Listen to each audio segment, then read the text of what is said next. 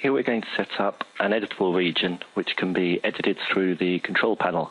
This is using the content management system that's built into e-commerce templates. We're going to add it to the space there. So let's go into the admin section, click on content regions, new content region, and we'll give it a name. This is going to be a, a free shipping note we're going to add to the page. So we can format the HTML through the editor here we're going to quickly do it through the, the source file and, and write our own HTML, but that's completely up to you. So we'll give it a title, free shipping, add the text, a couple of BR tags there for formatting.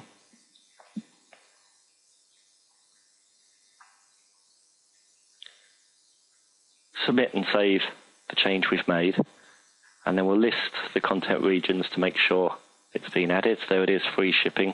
The region ID here is very important. Here it's number five, you'll see, as that's what's going to be included in the page. Now open up your editor. In this case, we're using Dreamweaver and the page that we're going to add the content to. Here we're going to put it just below the picture of the truck So we've prepared the include line that we're going to add here. You see region ID equals 5. There's the ASP version, or for PHP. We're using ASP here as example, so we'll copy that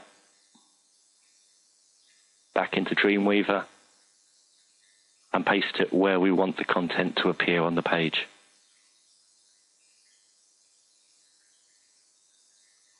It's important that this line comes somewhere after the other four ASP or PHP include lines.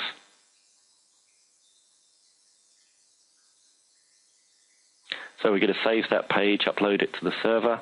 You'll see here it's represented as an ASP icon. Then open up the page and you'll see the content there appearing where we've put it. If you've got any questions about this, please do let us know.